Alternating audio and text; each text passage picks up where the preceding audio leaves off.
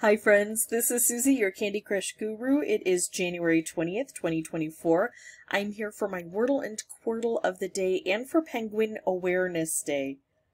Look at how cute these little guys are. And little is right. This is the smallest variety of penguin in the world, the little blue penguin or the fairy penguin. They live in Australia and New Zealand. Sometimes they're called kokore and I think they're adorable. So not everything in the penguin world is black and white. Sometimes it's blue and white. And then of course we've got crested penguins that have orange and yellow on them. I'm going to go ahead and use white though as my inspiration word because that does unite all penguins. All penguins that I can think of, all 16 to 18 varieties based on how you divide them out, they all have white on them. So I'm going to go ahead and enter that. All right, we've got an E and we've got it placed.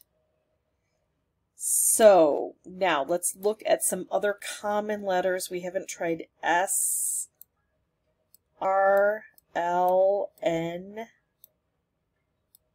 E. No, we've tried E. We've got E. We've got E placed.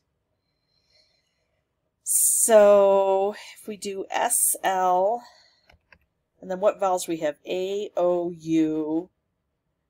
What if we do, we can't do slant. I don't think slant is a word. What about slang? Let's try slang. Oh my goodness. Oh, that's beautiful. Glade. Right? Oh, shoot. No, the L can't be there. It can't be angle.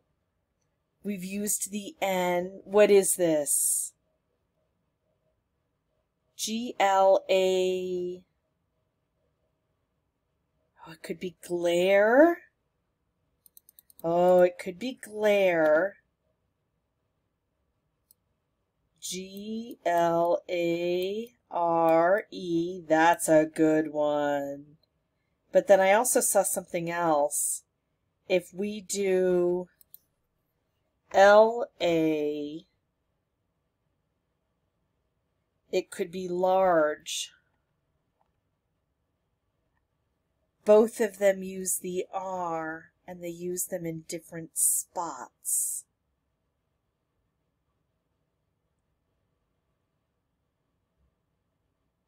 So it's either glare or large, and I have to decide between the two, and I'm going to let the penguins help me with that there are a group of penguins that are crested penguins and a group of penguins um, that are large penguins, like the emperor penguin and the king penguin, right?